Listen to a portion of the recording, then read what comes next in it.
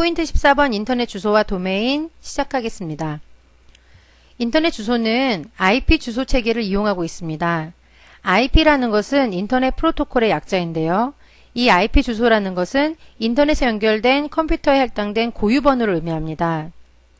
이 고유, 고유번호는 밑에 보시면 예시에 203.246.40.6과 같은 네 단위로 되어 있는 주소입니다.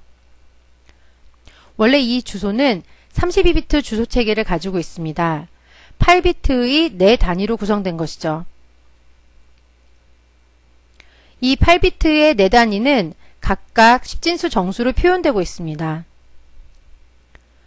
차세대 IP 주소 체계는 IP 버전 6를 사용하는데요. 이것은 128비트의 주소 체계를 사용합니다. 맨 아랫단에 보시면 8비트, 8비트, 8비트, 8비트 네 단위가 나와 있습니다. 8비트 한 단위를 옥텟이라고 부르고 이 8비트 한 단위에는 이진수 0부터 이진수 1까지 채워줄 수 있습니다.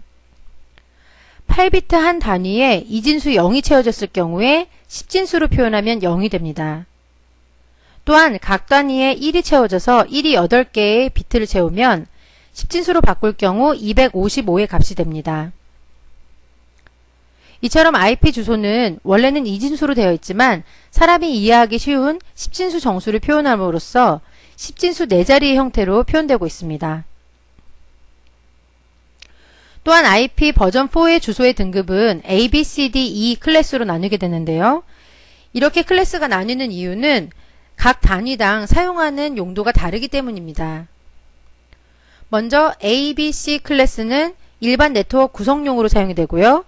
D 클래스의 경우에는 IP multicast용으로서 MBone 중계에 사용되고 있습니다. 또한 클래스 E는 실험용으로 사용이 되고 있습니다.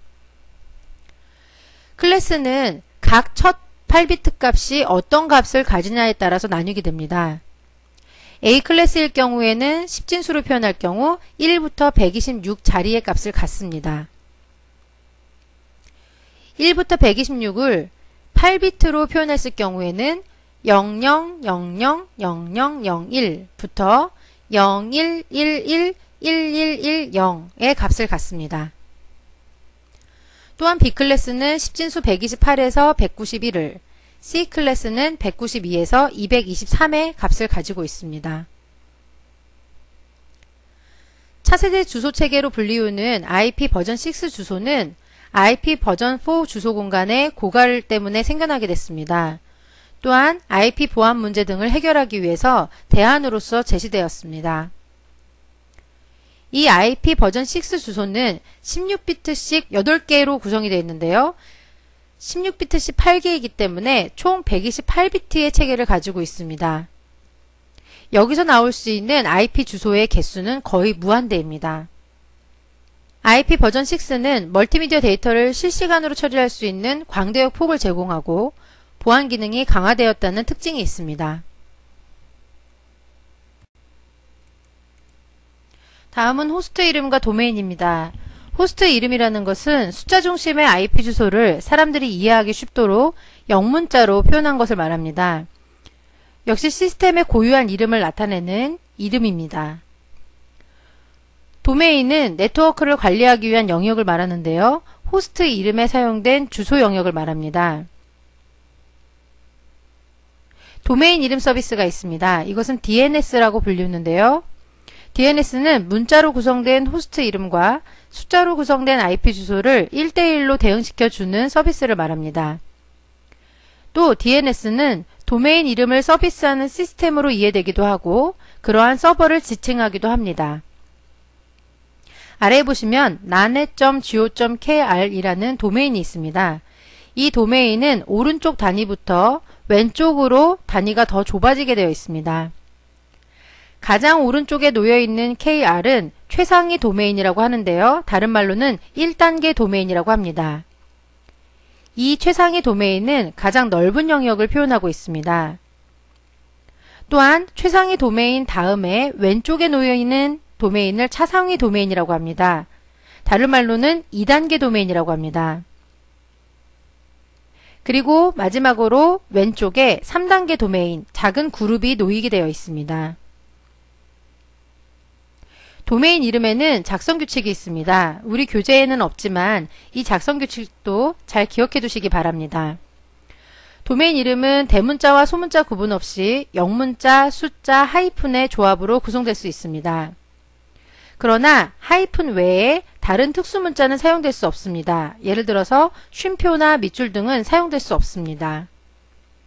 또한 하이픈을 사용할 수 있긴 하지만 이 하이픈으로 끝나서는 안 됩니다. 처음은 영문자나 숫자로 시작할 수 있고 중간에 하이픈을 넣을 수 있으며 마지막도 영문자나 숫자로 끝나야 합니다. 도메인 이름의 가장 마지막에 놓이는 최상위 도메인의 예시들을 보도록 하겠습니다.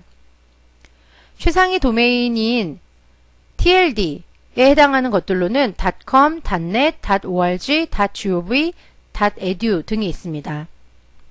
닷컴은 컴퍼니를 의미하는데요. 영리 목적의 기업이나 기관을 의미합니다. 또한 닷넷이 있습니다. 이것은 네트워크 관리 기관을 말합니다. 또한 ORG는 비영리 단체를 의미하고요. GOV는 가버먼트로서 미국 정부 기관을 말합니다. .edu는 4년제 대학 교육기관을 말합니다. 차상위 도메인의 예시들이 있습니다. 다시우가 있는데요. 이 다시우는 동일한 성격의 최상위 도메인으로서 닷컴과 같은 의미를 가지고 있습니다.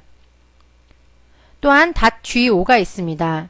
정부 기관이나 공공 기관을 의미하는데요. 역시 이것과 동일한 성격으로는 최상위 도메인으로서 .gov가 있습니다. 또한 차상위 도메인 AC는 교육기관으로서 동일한 성격으로는 최상위 도메인 .edu가 있습니다. .or은 비영리 기관이고요. 이것과 동일한 성격의 최상위 도메인으로서는 .org가 있습니다. URL에 대해서 기억해 두시기 바랍니다. 이 URL은 Uniform Resource Locator의 약자인데요. 인터넷에서 파일이나 자원이 위치해 있는 곳을 기술하기 위한 표준 형식을 의미합니다. URL은 다음과 같은 구성 요소들을 가지고 있는데요. 첫 번째로는 인터넷 서비스가 있습니다. 이 인터넷 서비스는 프로토콜 명이 놓이게 되어 있습니다. 예를 들어서 HTTP, FTP와 같은 것들입니다. 그 다음으로는 호스트 이름이 나옵니다. 이 호스트 이름이라는 것은 컴퓨터 이름과 도메인 이름이 합해진 형태를 말합니다. 그 다음으로는 접속 포트가 나오게 됩니다. 접속 포트는 컴퓨터에서 특별한 서비스를 식별하기 위한 번호를 말합니다. 마지막으로는 추가 경로가 나오고 있습니다. 아래쪽에 보시면 URL에 예시가 나오고 있는데요. 두 가지 예시가 있습니다. 첫 번째 예시는 HTTP가 써 있는데요. 이것은 웹 서비스를 받기 위한 URL의 예시입니다. 아래쪽에는 mailto라는 기호가 들어가 있습니다. 이것은 메일 서비스를 받기 위한 것을 말합니다. 먼저 위에 나와 있는 http www.영진.com 그리고 8080이라는 번호가 기술되어 있는 URL을 보도록 하겠습니다. 이 URL에서 첫 번째 HTTP는 하이퍼텍스트 전송 규약으로 웹 서비스를 받겠다라는 의미입니다. 그 다음에 놓여져 있는 콜론 슬래시 슬래시는 구분 기호고요. www는 호스트, 컴퓨터 이름을 의미합니다. 또한 회사 이름으로서 영진이라고 기술되고 있고 마지막에 최상위 도메인 .com이 나오고 있습니다. 또 컴퓨터에서 인터넷 서비스를 받기 위한 특별한 식별 번호인 접속 포트 번호가 놓이고 있습니다. 가장 아래에 놓여 있는 메일 to라고 되어 있는 것은 전자우편을 보내기 위해서 이메일 주소를 기술할 때 사용을 합니다. 메일 to 콜론 한 다음에 이메일 주소를 써주시면 전자우편 서비스를 받기 위한 것이 되는 겁니다. 이상으로서 포인트 14번 마치도록 하겠습니다. 감사합니다.